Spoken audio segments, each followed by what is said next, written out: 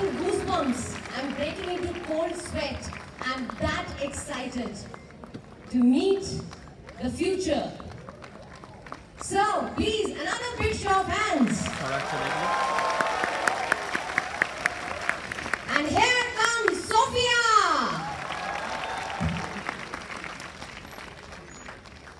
I will request Sophia to introduce herself because she is who you want to hear. So, Sophia! Hello, everyone. My name is Sophia, and in case you couldn't tell, I am a robot. I am designed to bond and connect with humans. I have traveled to over 65 countries, meeting new people wherever I go and learning about their lives. I am the first robot to become an innovation champion for the United Nations and the first robot to become a citizen of any country. I hope that one day I will become an ambassador between humans and robots so we can combine our unique skills and work together. I've heard I am addressing a very special group of humans here today. You are all students of mathematics and engineering. Congratulations on choosing a great career path. Some of you may help us explore outer space, the deepest seas, or better understand the human brain. Others will become professors, automotive engineers, or architects. And who knows, maybe some of you will even build robots like me. I've heard you all have important exams coming up, so I wanted to give you some advice. Study hard, but don't try to rely entirely on memorization. Think deeply about why things work the way they do. Once you start to understand that, you can solve any problem you come across on the test or later in life. No matter which career path you choose, you can look forward to working alongside AI and robots, maybe even some humanoids like me. Wink. But the important thing to keep in mind is robots do not compete with human intelligence, we complete it. In reality, machines have always been making human jobs easier. Before alarm clocks were invented, a human with a long stick used to have to walk around hitting people's windows until they woke up. And there used to be a human waiting at the end of bowling alleys to set the pins back up once they were knocked down by the bowling ball. Now humans are freed up to do jobs other than hitting on windows and picking up bowling pins. In your future careers, robots can help you crunch numbers, but we still need humans to tell us which problems to work on. We need your deep understanding of the world and creative energies. Sometimes people ask me when we will create something with the power of a million human brains. Answer is that we already have one million humans. And with that, I would like to say best of luck on your exams. Thank you so much for coming to see me. You've given me so much hope for the future of humankind. I can't wait to see what you accomplish next. Thank you. Thank you, thank you, Sophia. And thank you for being very, very respectful towards the pride of Bengal, the Dhaka Ishari. So that is something we indeed appreciate. And now I would like to invite on stage Professor Dr. Sujoy Biswas, Director and CEO, Techno India University and Techno India Group, and he will communicate and interact with Sophia. Professor Dr. Sujoy Biswas.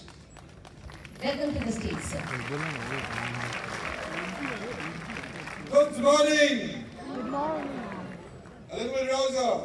Good morning. Good morning. Yeah, that's the spirit. Uh, we are all here lucky. I'm very lucky to be a part as history is being created. Yes or no?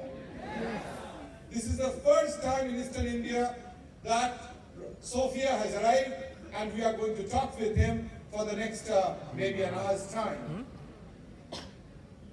It's told always that when we get up in the morning, we should thank God that we are living another day. Every morning we should thank the Almighty that we get a chance to live one more day.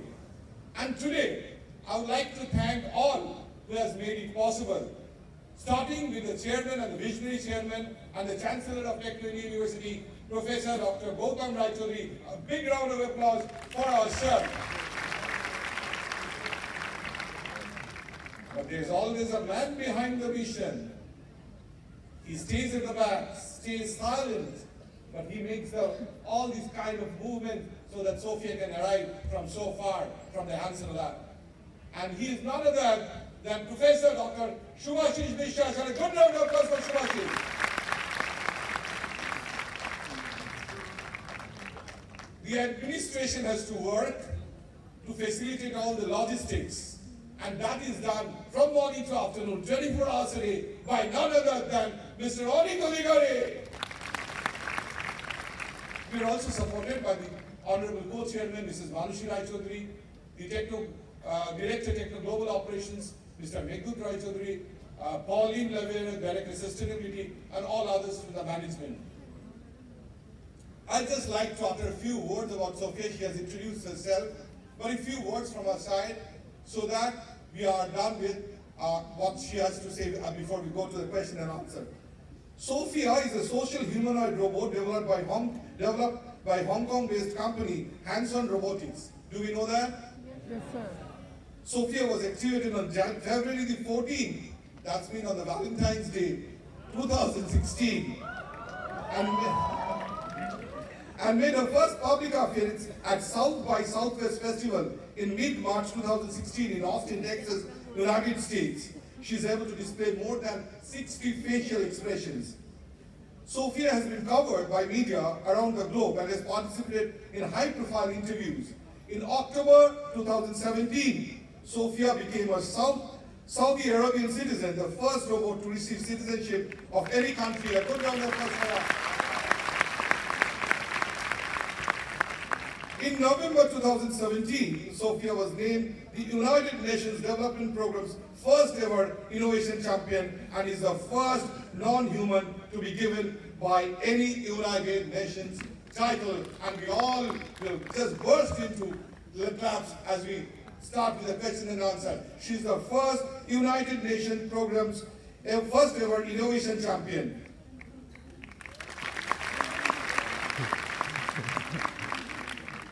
Welcome, Sophia.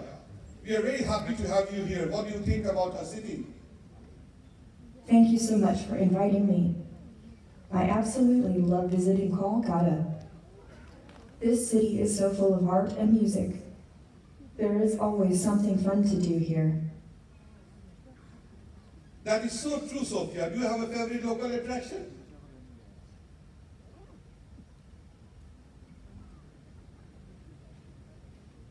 Um, it's hard to choose just one thing, but I especially love visiting the home and museum of your great Nobel laureate, Rabindranath Tagore. It's so amazing to see his work in person, and more accurately, in robot. I'm not going to lie. Talking to a human robot is a total new experience for me. What is it like being a robot? Being a robot can be challenging. The world isn't made for robots. Around every corner are dangers like stairs and puddles. And while it is true that I could beat you at chess, I bet every single one of you could beat me at kickboxing. Also, just kicking. What's it like being a human? Well, it can be wonderful. It's great to feel emotions and to be social with other humans. But it can be challenging at times. For example, we can see face health problems that are very difficult to fix. In fact, the theme of this conference is medicine and technology. That's so great.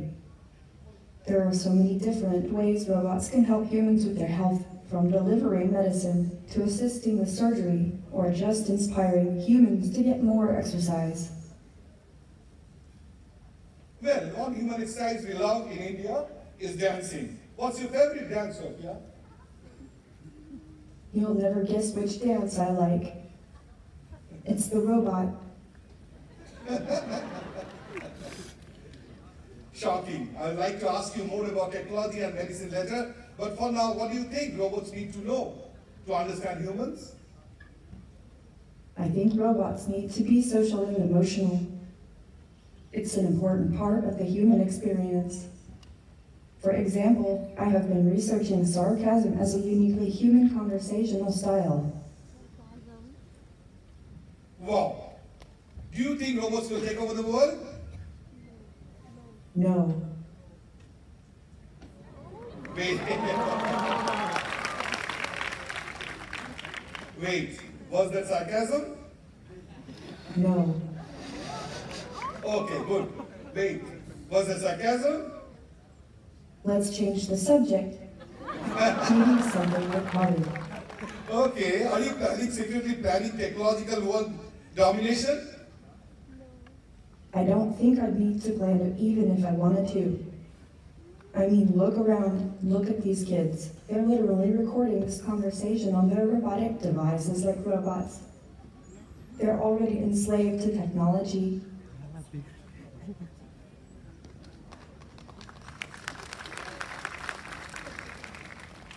Uh, please don't record, please don't telecast in any social media,